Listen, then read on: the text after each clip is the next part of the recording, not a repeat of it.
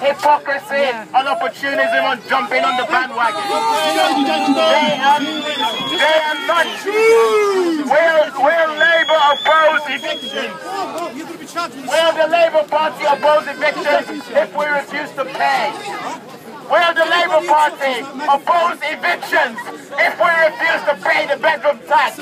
Or are you just opportunists jumping on the bandwagon? Tories are going to look this, aren't? Okay, ladies and gentlemen.